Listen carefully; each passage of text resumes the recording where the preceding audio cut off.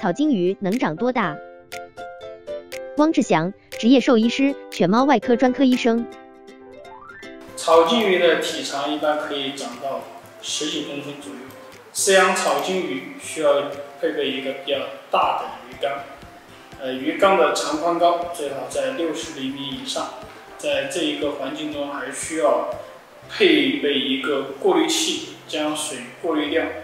每天给草金鱼进行滤水，然后呢，对鱼缸进行清理。一般来说，草金鱼不会长到三十公分，所以买一个中等大小的鱼缸就可以进行饲养。但是在饲养的时候呢，需要观察草金鱼的皮肤有没有变白，有没有怕缸底，有没有不吃东西的现象。随着喂养年数的增加。那，草金鱼也会越长越大。如果养到四到五年的草金鱼，可能长到四十公分左右，长成一条大鱼。